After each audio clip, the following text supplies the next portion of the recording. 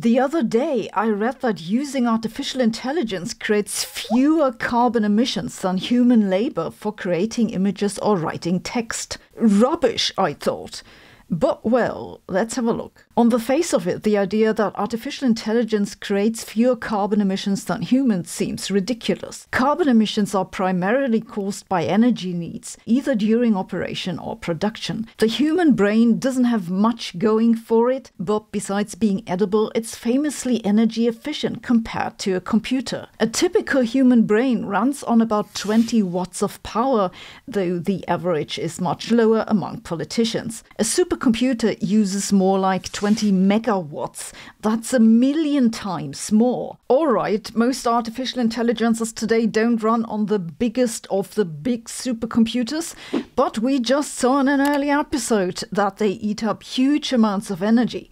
If you use AI to do as much as generate an image from a text prompt, that takes up about as much power as charging your phone in the ballpark of 3 watts, which um, is less than the 20 watts I just told you the human brain uses.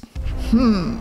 Okay, let's look at what they did in this paper. They compared the emissions of carbon dioxide caused by using artificial intelligence and humans to produce text or images. For the AIs, they counted the training phase as well as the operation. So, say the energy that's eaten up when you ask Midjourney for a unicorn with sunglasses. On top of the power used during operation, they add a share of the total training emissions by dividing it through the expected lifetime query.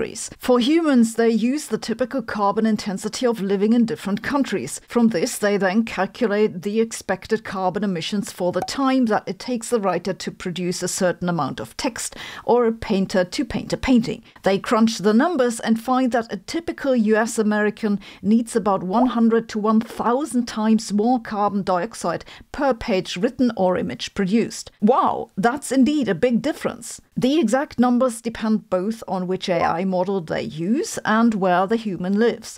They find, for example, that if you want to generate an image, then GPT is energetically quite wasteful compared to Midjourney. Then again, this isn't so surprising as it's just a bigger model. And if you outsource your tasks to India, that reduces the carbon footprint. Also not so surprising. I couldn't quite believe this, so I had a close look at the paper.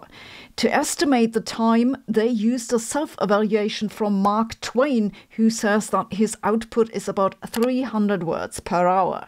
I just checked the length of this text and it's roughly 400 words, and it took me about 10 minutes to write, so maybe setting the quality level at Mark Twain might be putting the bar a little too high for the average internet content of today, but then again, that isn't going to make up for a factor of 100. What about the carbon emissions from producing the necessary hardware? They took this into account and also looked at possible later energy requirements for recycling. However, they say that these contributions are orders of magnitude smaller in carbon intensity than the training and operation.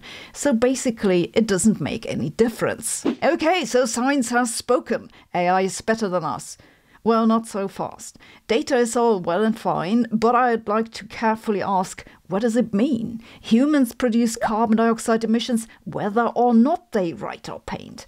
By giving the job to an AI, these emissions don't go away, they just add the AI on top. The reason human labor seems so carbon intensive is that a writer doesn't just write. A writer needs to keep its entire body alive, a body that's occasionally good for other things. An AI dedicated to a specific task doesn't have this entire overhead. I think a more sensible comparison would be to ask what's the difference in carbon intensity between a human who writes and a human who sits on a desk not writing. I suspect that the difference is so small as to be unmeasurable. That said, there's a bigger question behind this discussion, which is whether it's a good idea to invest into artificial intelligence if that'll increase carbon dioxide emissions. The answer depends on how much benefit you think will come out of it eventually. Personally, I think that energy demand is strongly tied to societal progress. The problem isn't the energy demand per se, but that at the moment the energy sources we use aren't environmentally sustainable. And of course, the reason that we use computers to take over certain tasks is to make space in our lives for doing something else, so that one day our video scripts will be entirely written by AI, and the footage of me speaking will be entirely produced by AI, and it'll be entirely watched by AI. And uh, what was the point of that again? Yet another thing that AI has gotten incredibly good at is language translation. But did you know that studies show different languages activate different connections in the brain, especially if the grammar's different? This is why I'm trying to brush up my French with Babbel.